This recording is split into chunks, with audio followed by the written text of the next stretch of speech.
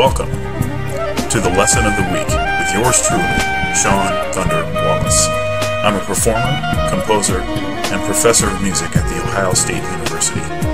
This weekly program is designed to inspire and inform the serious music student. We're all students here, so join me on the path of discovery as we learn together. And then the other thing we were talking about last week was we were going to start doing like getting some more uh, um, double time stuff. Like, how what should I start with like doing that? Yeah, well, um, one thing that you have to do to get doubles time, you could, well, one, one thing you, that you can do, uh, well, I mean, I play a lot of double time stuff, right? Yeah. So that's one source, is to listen to lessons, find double time stuff that I'm playing, and just transcribe it. And then start taking stuff and learn it in every key. Find two five ones and turnarounds that I play. Um, uh, maybe stuff I play on dominant, maybe different patterns that I'm playing. You know, um, a couple different ways to extend your lines because when you're playing double time, uh, you know, it's like if I'm thinking, uh, if I want to play double time, if I don't want to just play like scales two octaves or something, or uh, you know arpeggios twice, you know, well I was going to play it, and I'm going to play you know, that's going to get boring. There's just no information there, no new information. But a way to, to extend your lines, just a couple of great ways to extend them. One of them is what we were just talking about, is false fingering. That's a great way to extend your lines. But there's another one that's much more common, and that is chromaticism. Uh, adding chromatic notes in the line and or enclosure.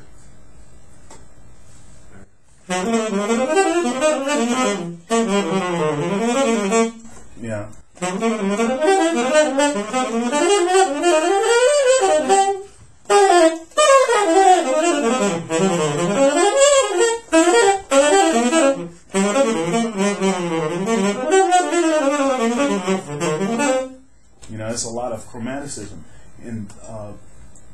the enclosure, enclosure is a way to seemingly say more than you're actually saying.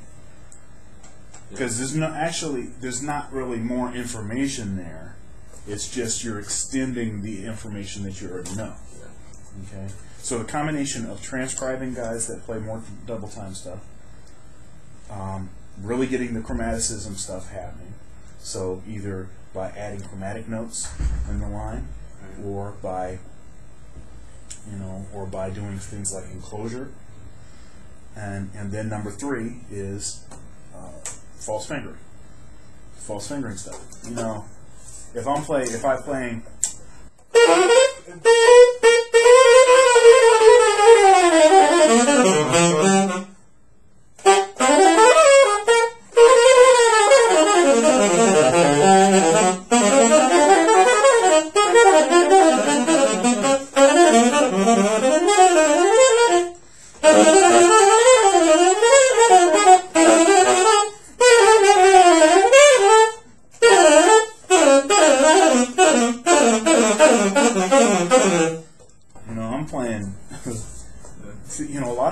just there was nothing.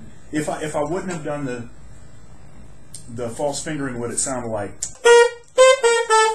you know, or something like that? but because I did it,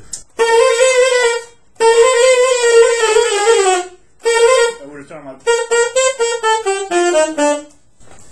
Yeah. so I so by adding that stuff in there, all of a sudden now you got more more material, more information. But, uh, more information. It's not really more information. It's kind of more information, but it's kind of like applying. Uh, it's like applying a, a a value to x Yeah. in each case. That makes it seem like it's bigger, but then it's like when you divide by by x, you find out that oh, it's just like a couple notes there. It's no big deal. I can figure out what that is. Does that make sense? All right. And then like I was trying to learn double time lines, how is it? Because it's like a lot more notes and it's a lot longer, and then like Mhm. moving up half steps and stuff. How I'm I should still be like hearing it, but Mm-hmm. Is there any way to like make it not necessarily easier, but like different ways to think about it, so you can keep track of like where you are? Because like that's It's just, well, it's the same thing as with with yeah. There's no trick to it. Uh, it's the same thing as with you know taking any two five or or any scale for that matter and learning it in every key. yeah, Uh, uh, yeah, it's, it's the same difference. Like say if I'm if I'm learning a double time thing and it's giving me trouble, then maybe it just means that it's going to take two or three times longer for me to get it. You know, all right. Well, it's just it's just a time commitment. Okay, and uh, so that's that's one. The other thing is just the same as with a with a regular two five one. What are some of the things that you do to to take a short two five one or something that doesn't have as many notes in it? You might figure out okay, this starts on the third of the chord. You know, it goes up. It's our you know it's it's uh, it's kind of an arpeggiation of the chord, and then it starts and it's playing more linear here. It ends on the seventh of that next note, and then resolves to this note. I mean, if if I try not to think about it as much, but some stuff that you try to play, uh, you know, like the first time you try to go through and like learn Giant Steps substitutions, like in every key.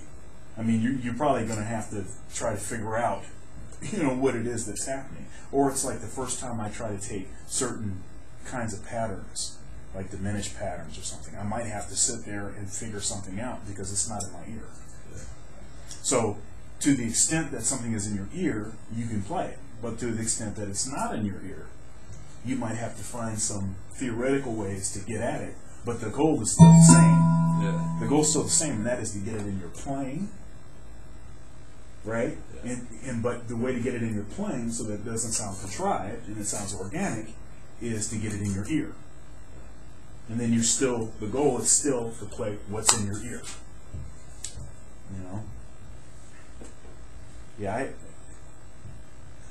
I you know I, I don't play anything that's not in my ear.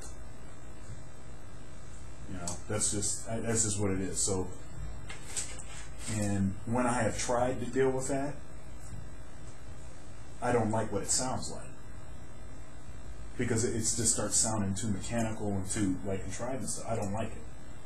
So I practice a lot of different stuff. And I have you guys working on a lot of different stuff. Uh, but the goal should be is to get it in your ear. Because then once you get it in your ear, then, then you're the master. You manipulate it in any way that you desire. All right? All right, man. Sounds good. Keep working.